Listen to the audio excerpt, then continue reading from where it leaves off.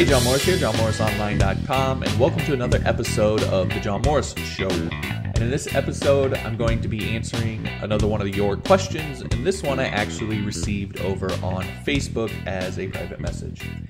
And the question, succinctly put, is what WordPress theme should I use? So, in this episode, I'm going to be tackling that question.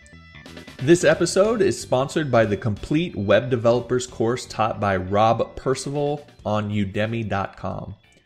Now, what I love about this course is first how comprehensive it is. It's 235 lectures on HTML, CSS, JavaScript, jQuery, Bootstrap, WordPress, PHP, MySQL, APIs, and mobile apps. I mean, it's ridiculous. Second, I love how good of a teacher Rob is. As a former school teacher, Rob knows how to explain complex concepts in ways anyone can understand. And of course, the cool thing is I talked Rob into giving my audience an 85% discount on the course. So check the description of this video for a special link that contains a coupon code good for 85% off of the complete web developers course by Rob Percival. Click that link and you'll be all set for the discount. Now, on to the episode.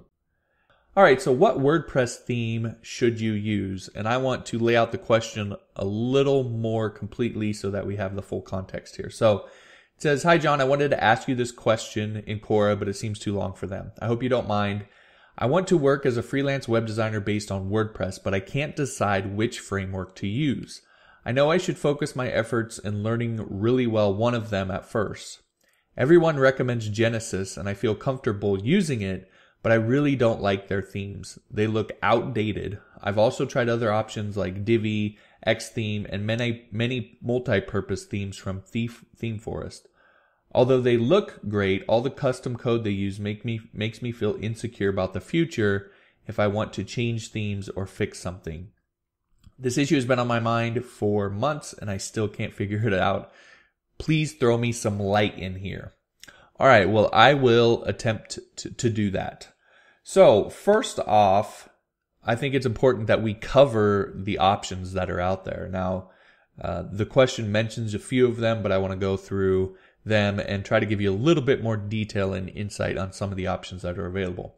So the first option is to use one of the popular frameworks that are out there. Now there's a number of them. Genesis was mentioned. There's also Canvas, Headway, Thesis, Builder, elegant themes, page lines, and probably a number of others that I haven't mentioned. Now, I have used both Genesis, Genesis and Canvas extensively. In fact, the company that I work at, Wishlist Products, we used Canvas as our base for a long time for our websites. We've since moved on to something else, but uh, Canvas was one that we used for a while. We also at one point used Genesis for one of our sites. I used to use Genesis for my own website, johnmorrisonline.com, and I've used it for projects and so forth. So I'm very familiar with those two. I also have the subs- subscription over at Elegant Themes. I've worked with Page Lines on a couple sites. I've messed with their theme and almost used it for one of my sites, but ended up going a different route. So, and I've used Thesis on uh, some client websites as well. The only one I, only two I haven't used in this list are Headway and builder.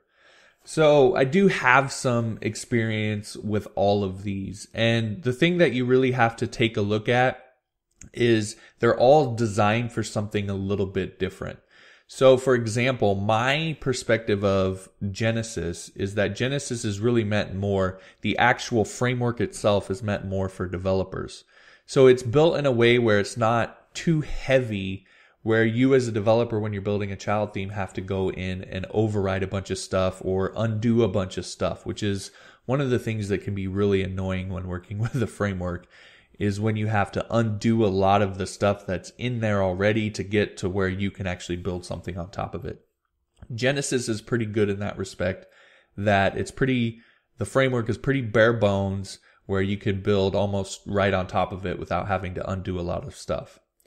Canvas is probably a little further down the continuum in that there's there's a little more that it does right out of the box because it's meant to be it's meant so that it can be used right out of the box and not always necessarily in conjunction with a child theme. So there's a little more that you have to undo if you want to work just straight off of a bare bones type setup. And I would say elegant themes and page lines go much further down, and even thesis go much further down that continuum where there's a lot of things that you're gonna that are custom that you're gonna have to deal with and work around if you're gonna use those as frameworks. So it depends what you want. It depends if you want something bare bones that you can build on top of, or if you want something that's a little further down the line where you don't have to do as much and you're willing to work with some of the things that they already have in place and just figure out how to use them or work around them and so forth. So uh, again, each one of them has a little different approach and you're just going to have to take a look at, at each one and see what's a good fit for you. The second option then is I put this in the category theme for theme forest themes, but you could really call this kind of standalone, not necessarily based on framework, marketplace type themes. So salient, Divi, X themes, those are some of the ones that come to mind. And these are really meant to be complete themes. They're I wouldn't really call these frameworks in in that sense where they're meant to have a lot done on top of them. From my experience with these themes, they're really more complete.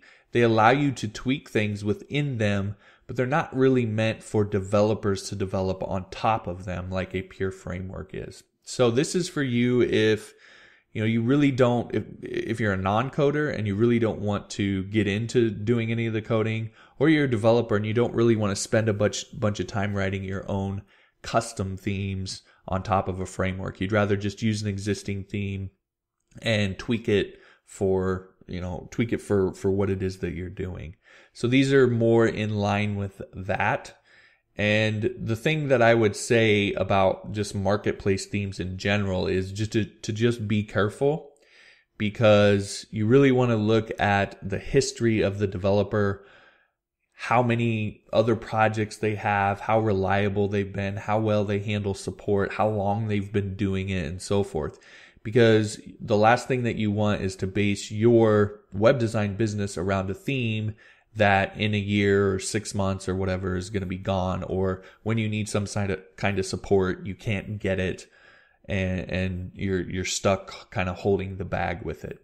Especially if you're going the route with of a complete theme where you're not doing a lot on top of it, the support that you get, the longevity of that company or that developer is going to be important because you're really kind of putting all of your your eggs in a basket with the, that particular theme.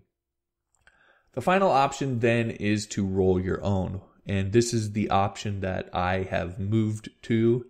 And the, again, Wishlist Products company I work uh, at, we have moved to as well. So my website now runs my own framework that I've created with a child theme on top of it. All of our websites at the company, well, not all, but we've slowly transitioned most of them. We have a few left we need to transition, but they've been moved to the framework and then child themes for each one of the individual sites. So this is the route that I'm going now.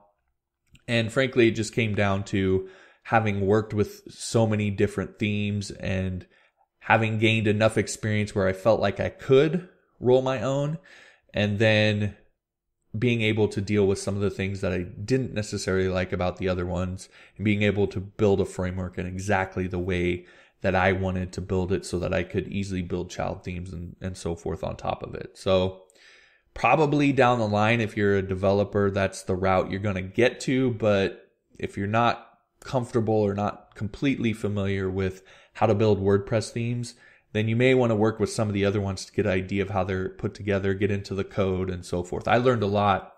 You know, I have to give Brian Gardner a ton of credit.